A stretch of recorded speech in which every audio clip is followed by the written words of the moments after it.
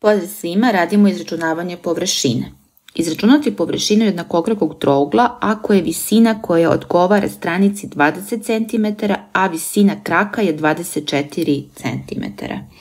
Nacrtat ću jedan jednakokraki trougao. Dakle, obeležavamo osnovicu tog trougla sa A, a krak je sa B. I pošto su nam date visine koje odgovaraju osnovici, dakle imamo HA i imamo visinu koja odgovara kraku B, dakle HB.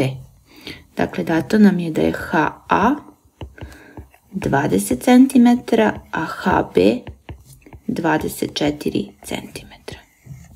Traži se površina. S obzirom da su nam date visine, iskoristit ćemo formulu za površinu. Ja znam da, da površinu mogu da izračunam kao A puta HA kroz 2 ili, pošto nam je data visina na krak, možemo i kao B puta HB kroz 2.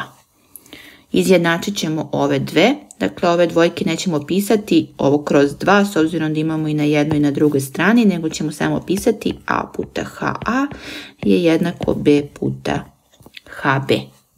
Odnosno imat ću da je A puta 20 jednako b puta 24. Odavde ja mogu da dobijem ili da je a jednako 24b kroz 20, što kad se skrati sa, sa koliko ovo možemo da skratimo sa 4, bit će 6 petina b, ili s druge strane mogu da dobijem da je b jednako 20a kroz 24, odnosno kad skratimo to će biti 5 šestina a. Dakle, i jedno i drugo možemo da iskoristimo u daljoj rešavanju zadatka.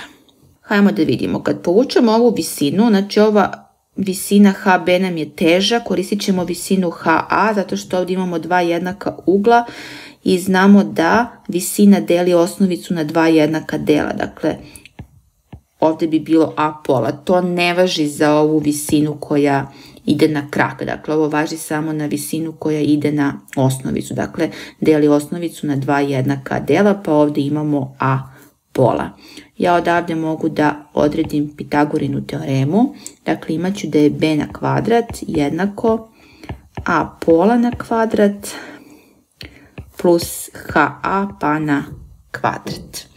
Da bi ovdje dobila samo jednu nepoznatu, s obzirom da HA već imam, ja ću iskoristiti ove dve. Ili ću zameniti B ili A, sve mi je jedno. Ajde, u ovom slučaju zamenit ću prvo B, pa ću pisati, dakle B nam je 5 šestina A. Dakle, 5 šestina A, pa sve na kvadrat je jednako A pola pa na kvadrat plus HA mi je 20 pa na kvadrat. Dakle, ovako sam dobila samo jednu nepoznatu i lako mi je da rešim ovu jednačinu. Dakle, sad kad kvadriramo, ja dobijem 25 a na kvadrat kroz 36 je jednako a na kvadrat kroz 4 pa plus 400.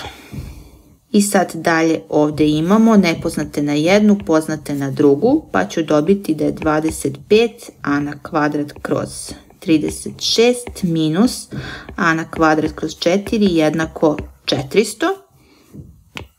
Odnosno, ovdje moram da proširim sa 9, pa ću dobiti 25a na kvadrat kroz 36 minus 9a na kvadrat kroz 36, da je jednako 400. Idemo dalje. Kad ovo oduzmemo, to je 16a na kvadrat kroz 36 da je jednako 400. Kad stavim ovo kroz 1 mogu unakrasno da množim pa ću dobiti da je 16a na kvadrat jednako 400 puta 36, odnosno samo a na kvadrat bi bilo 400 puta 36 kroz 16. Da ne bi sad ovo množila, delila, ja ću samo napisati da je a jednako koren iz svega ovoga, pa ćemo prvo korenovati da dobijemo manje brojeve pa tek onda ćemo skraćivati.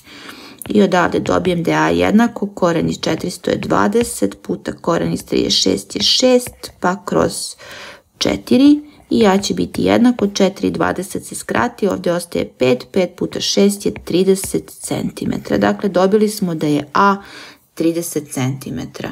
Dakle, možemo da koristimo sad ovu formulu pa će P biti jednako, dakle A smo dobili da je 30 puta H, A nam je 20, pa to kroz 2 skratimo, 2 i 20, gore ostaje 10, dole 1 i odavde dobijem da je površina 30 puta 10, odnosno 30, 300 cm kvadratnih. I ovdje sam rešila zadatak. To je to, pozdrav!